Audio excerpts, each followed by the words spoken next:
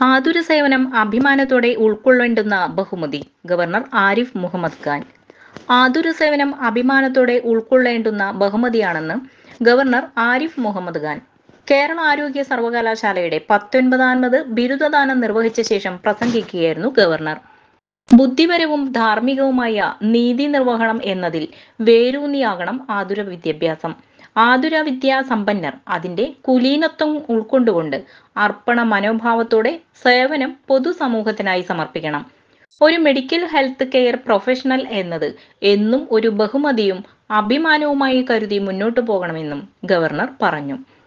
സർവകലാശാലയ്ക്കു കീഴിലുള്ള കോളേജുകളിൽ പഠനം പൂർത്തീകരിച്ച പതിനൊന്നായിരത്തി ഒരുന്നൂറ്റി അറുപത്തി ആറ് പേർക്കാണ് ബിരുദ സർട്ടിഫിക്കറ്റുകൾ നൽകിയത്. വേദിയിൽ വെച്ച് വിവിധ വിഷയങ്ങളിൽ ഒന്നാം റാങ്ക് നേടിയ വിദ്യാർത്ഥികളെ മൊമന്റോയും ക്യാഷ് അവാർഡ് നൽകി ആദരിച്ചു.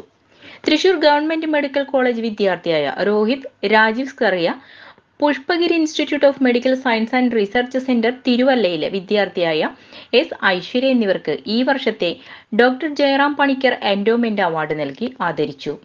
ബിരുദദാന ചടങ്ങിന്റെ വേദിയിൽ skills training manual for medical college എന്ന പുസ്തകം ഗവർണർ ആരിഫ് മുഹമ്മദ് ഖാൻ വൈസ് ചാൻസലർക്ക് നൽകി പ്രകാശന കർമ്മം നിർവഹിച്ചു. Government medical college alumni association ഓഡിറ്റോറിയത്തിൽ നടന്ന ബിരുദദാന ചടങ്ങിൽ ആരോഗ്യ സർവകലാശാല vice chancellor professor doctor Mohanan Kunnummal സ്വാഗതം ആശംസിച്ചു.